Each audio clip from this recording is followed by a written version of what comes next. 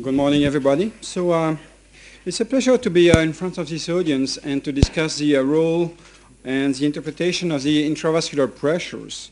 And of course, when we will have to talk on these measurements, we'll have to talk on different things. And um, we have globally three big uh, pressures we may discuss. The pulmonary artery pressure, of course, the pulmonary artery occluded pressure, uh, which is also very important, and finally, the right atrial pressure or central venous pressure. The, the issue is, uh, first, how to measure it.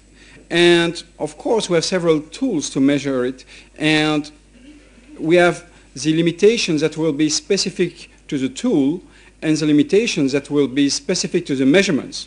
And of course, I will first discuss a little bit the tools, and then we will mostly discuss the measurement itself. So we have, of course, the invasive measurements with the pulmonary artery catheter, which is on board for a long time, but also uh, with the central venous one. And of the other aspect is that we can also have some non-invasive measurement of these pressures with echocardiography. And we will take a little bit to discuss this also, of course. With the invasive measurements with the pulmonary artery catheter mostly, we have, but also with central line, we have some problems, of course, because we measure pressure in a vessel, but this vessel is surrounding by the thorax, the thorax itself being surrounded by the abdomen. And so we may have sometimes a problem because we do not really measure the true intra vascular transmural pressure, but we measure a pressure that may be affected by the intrathoracic pressure, the PEEP especially, but also the intra-abdominal pressure. And finally, the other aspect is that we sometimes face a problem of the quality of measurements because the variable we try to measure is not as stable, as well defined as we may expect. And indeed, when we have this kind of traces when, with some respiratory fluctuations, it's quite easy to remember, but not always well applied at bedside that we always have to take it at end expiration. And of course in mechanical ventilation it will be at that place and in spontaneous bracing it will be here. But if we do not pay attention to this, we may make an error up to 10 or 15 millimeters of mercury. So the error in the measurement induced by these kind of things may be quite huge and we have to pay attention to it. When we are a physician, well, uh, at the bedside it may be easy, but when we trust on numbers written on a board, then sometimes we may be uh, in, there may be some errors there. The second aspect, of course, is the transmitted pressure, especially due to the PEEP itself. And uh, even when we are trying to have the um, end expiratory pressure with pulmonary artery pressure, we are still facing some residual pressure in thorax, which may affect it. And so there, there have been some ways uh, developed to try to measure it. The first one, of course, was to disconnect the ventilator and to rapidly look at the nadir, um, so the lowest uh, PAPO just after uh, the slow increase back because of the increase in venous return. Of course, this is a true one, but it is not always very good to do, just because indeed you just disconnect the ventilator and so you lose all the recruitment to the lungs and other problems like this. So while keeping the patient connected to the ventilator, it is feasible just to compute it. It is not very difficult. Of course, it takes you a little bit of time because you have to compute the variability in the pulmonary artery occluded pressure, you have to measure the uh, plateau pressure, you have to measure the uh, end expiratory pressure, but then it's just computation. It's easy indeed just to compute the true um, by um, multiplying these by PEEP and uh, withdrawing this value from the actual pulmonary occluded pressure you measure. So this is a way to counteract this problem of uh, transmission of pressure to the system that can be applied, but it has not been widely used, uh, at least in publications. We can also use the echographic measurements of intravascular pressure. The advantage, of course, is that we will not have to face this problem of transmitted pressure. The pulmonary artery pressure is reliable and easy to measure, and especially the pulmonary artery pressure a systolic part component of the pulmonary artery pressure. The other pressure can also be measured, but we will see that these are a little bit more difficult to measure. Of course, we can try to have the mitral inflow that will get us some in, some idea of the pulmonary artery occluded pressure. Indeed, if we look at the traces here of the uh, left ventricular pressure here, and you also look at the left atrial pressure, you understand well the determinants of both the E wave of the mitral flow and the A wave. And of course, due to these, when you look at the changes in the left atrial pressure and the, the um, left ventricular pressure, you can see that when the uh, left atrial pressure increases, there is a change in the morphology of the mitral flow. So it is possible to quantify this. The problem is that each patient is not exactly the same, and age, ventricular compliance may affect both the um, E and A wave, so that these numbers cannot be applied easily. So it is feasible to try to go compensate this using some other factors like the uh, tissue Doppler or the uh, uh, uh propagation of the um, mitral flow to try to minimize the impact of diastolic dysfunction. And using this, you can, can see that the pattern without being an expert, you can see that the pattern here of the mitral flow is different from the pattern from mitral flow here. And so you can get some different numbers and a, lot of significant differences between low PAOP and high PAOP. The, the only problem is that most of these measurements are mostly useful when they are used semi-quantitative. You say it is above this value or below this value. But really have a, a very sharp and precise value is probably not very good with the echo just because the confidence are wide. And you can just see it here on this on this graph, which is one of the, the best one in the literature, showing that indeed, if you look at the global correlations, there is a good correlation. But if you look at the agreement, the agreement is quite loose. It is an agreement of 5 to 6 millimeter of mercury, which means that when you have measuring a POP of 15, it can be 10 or 12 or of 20 not really the same. And so this is probably the limitations there, and so it is very useful when you use it semi-quantitatively, but not really when you need to have a very precise measurement. So the advantage of both is that indeed with the PA catheter we have a continuous one and a relatively accurate one. The disadvantage it is invasive, of course, and we have some technical limitation we have to take into account and we, we have to know it. For the ecography, it is of course totally non-invasive. It's also measuring through transmural 1. But the problem, it is a discontinuous method and also it is semi-quantitative for many of the measurements. So from now what we do with these measurements. And so what are the information we are given when we measure things. So of course we can try to have some diagnosis and I will not go into details here because it's not really the, uh, the goal of this uh, monitoring session. We also have some uh, preload evaluation and this will be uh, very interesting because we will have some idea of the volume and also we can guide for challenge and also we can have some idea of the cardiac function. I will not go into details of the cardiac function uh, because of time. We can evaluate the right ventricle afterload especially with pulmonary artery, uh, pulmonary artery pressure and we can also try to evaluate the pulmonary capillary pressure, but uh, this may perhaps be a little bit more difficult. So mostly CVP or pulmonary arterial occluded pressure.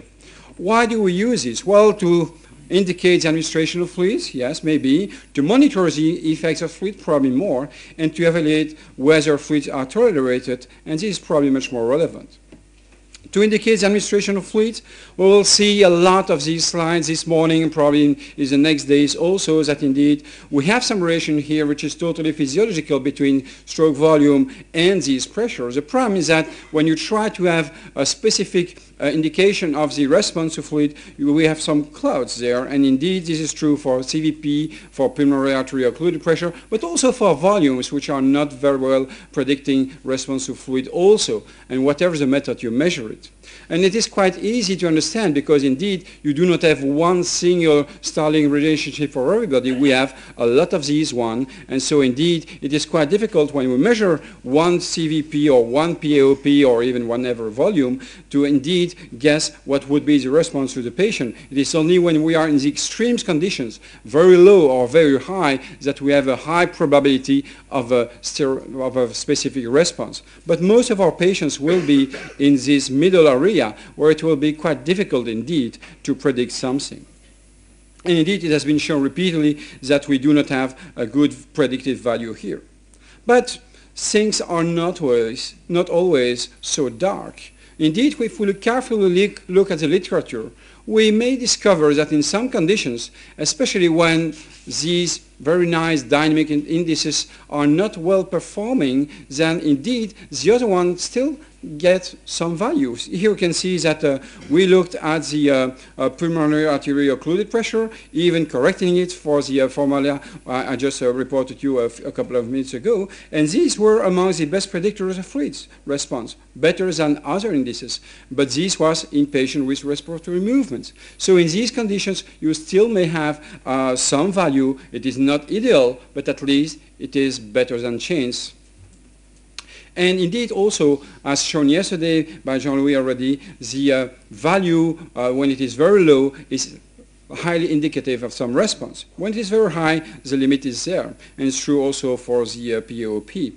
The problem indeed is that it is, even when you face some response to fluid, it's probably not a major problem of the patient. Indeed, when you have this kind of very high POP or right atrial pressure, your patient may st still may have some response to fluid but probably the key factor of this patient was not hypovolemia. So you always have to make some differences between the diagnosis, the, the key problem of your patient, and the way you may treat your patient because indeed response to fluid is observed even when hypovolemia is not the, the, the, leading problem.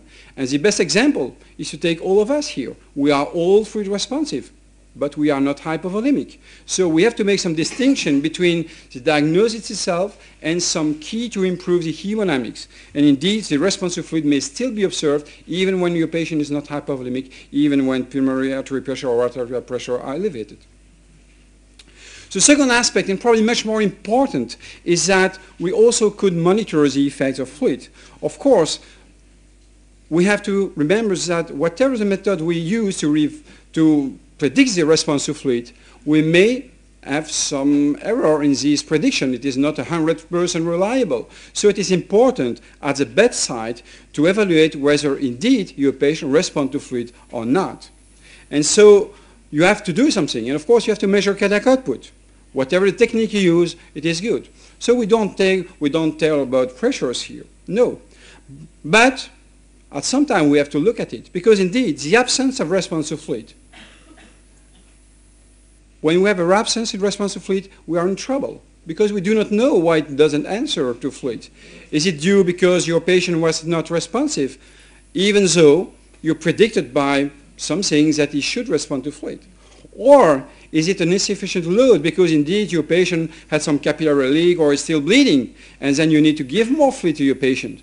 Well, you can only address this question when you indeed evaluate the response in preload because if preload is affected, then you know that it is indeed a non-responsive.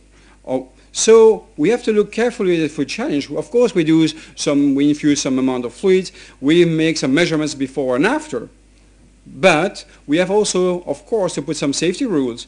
And then we begin to see the pressures. We also have to evaluate the response and of course, if the positive test will only be defined by the increase in cardiac output, easy, you don't have to measure anything more. But a negative test can be the absence of increase in cardiac output despite an increase in the preload assessed here by the pressures. And of course, you have an undefinite answer when you have no change in cardiac output, but also no change in preload. And it is very important to remember that the pressure measurements can better evaluate the response to fluid challenge than volume measurements. And I will show you this in this single cartoon. If you look at the response between cardiac output and pressure, it is curvilinear with the pressure, but it is linear um, with the uh, volume. And so you have this kind of aspect when you begin your free change or very low with hypovolemia. You increase, uh, initially you have a large increase in volume, a, a, large increase in cardiac output, but a small change in pressure. Later on, you have a more and more um, decrease in the change in volume and a higher change in pressure because of the compliance curve ventricle. And at the end, you end up with almost no change in volume, no change in cardiac output, but huge changes in pressure. So changes in pressure help you to understand that when you have no change in cardiac output, no change in volume, then you are indeed on the very dangerous part of the system because you markedly increase the pressure and you do not have any beneficial effect on any other aspect of the hemodynamic. So it is also very important to understand that uh, pressures are very good to evaluate whether fluids are well tolerated. And indeed, CVP still has some value because indeed it is a limitation of venous return. And also it is one of the key factors uh, determining the peripheral edema. When, when you have a CVP of 20, even though cardiac output may increase, the edema, the peripheral edema, will also increase quite a lot. So when you balance between the indication of fluid and the risk of fluid, having the idea of the pressure is very important to know where you are. And the same is true, of course, with the pulmonary arterial occluded pressure for the lungs. So when we talk on pressure, volumes, or nothing, we have to, to realize that uh, whatever we measure, even when we, when we measure nothing, pressure and volumes are linked in your body or in the body of your patient. And indeed, we have this curve with when we begin, we are very low pressure, and when we end up, we may end up with a very high pressure. And this is always the case. So we have to remember that when we measure volumes, when we don't measure anything, we just give fluids, we will have some increase in pressure if we go up to this part when indeed we are a little bit uh, in the flat part of the Starling relationship. And this is really the area when we will be at risk. The problem is, that, is also that we have some patients with a decreased compliance. And compared to this normal relationship when we all will say, oh, I will never go to this flat part of this Starling curve, Indeed, when you have the patient with this kind of uh, relationship, you may sometimes have patients with indeed elevated pressure and a low volume and a low cardiac output and a huge response to fluid predicted by any measurement you may, may, you may have. But it is in these conditions when indeed the pulmonary artery occluded pressure is less predictive because indeed it is 20 or something like this, that the response to fluid may be observed, but also that the danger of fluids also exists and that your patient may be really at risk when he will receive some fluids. And indeed, if you compare this curve to that curve, it is indeed in these patients that you probably will need to have a higher pulmonary arterial occluded pressure, and then indeed these patients may be at risk of developing edema. But of course, if you do not measure pressure, you will never know that your patient is here and not here. So this is why, in my mind, measuring pressure are still very important in some of these patients. So the implication is indeed that an increase in pressure or volume indicates an increase in preload. A lack of change in left ventricular volume may mask an increase in preload. And patients with diastolic dysfunction have a narrow therapeutic window between fluid responsiveness and risk of pulmonary edema. And we have to take this in mind, whatever we measure, because indeed pressure and volumes are affected by fluid challenge in our patients even when we do not measure it. The last aspect of the uh, pressure is that indeed hypervolemia cannot be differentiated from normal volemia with many of the tools we have at the bedside Indeed, if we look at the Starling curve, when we begin, we have a low pressure, uh, high stroke volume variation, and low volumes. But when we increase it, the uh, stroke volume variation will be minimized and will be almost never affected here. So having no fluid responsiveness at that stage does not make any difference between normal volemia, which is good for your patient, and hypervolemia, which is not good for your patient. Measuring volumes may be of some help, but at some time, just because of the uh, compliance curve, you will not make any difference between, indeed, severe hypervolemia and some hypervolemia. And especially in patients with diastolic dysfunction, you will fail to see it just because the pressure will rise much more rapidly than the volume will increase.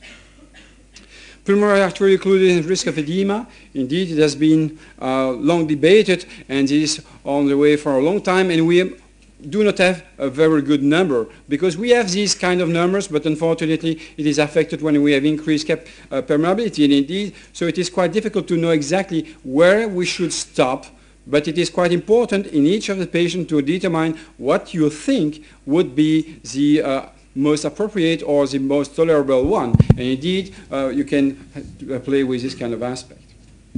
And I will end up um, here showing that indeed how can we use the intravascular measurements at the bedside. Well, first, of course, it is helping diagnosis response to therapy. The role in fluid monitoring, mostly for detecting hypervolemia or the risk of pulmonary edema. Also in fluid challenge, but mostly for detection of changes in preload and evaluation of safety, much more than for the prediction of the response to fluid itself, which should be, in my mind, uh, be driven by other means. And we have not to talk on the pulmonary capillary pressure, but this is, in my mind, mostly for um, research purpose.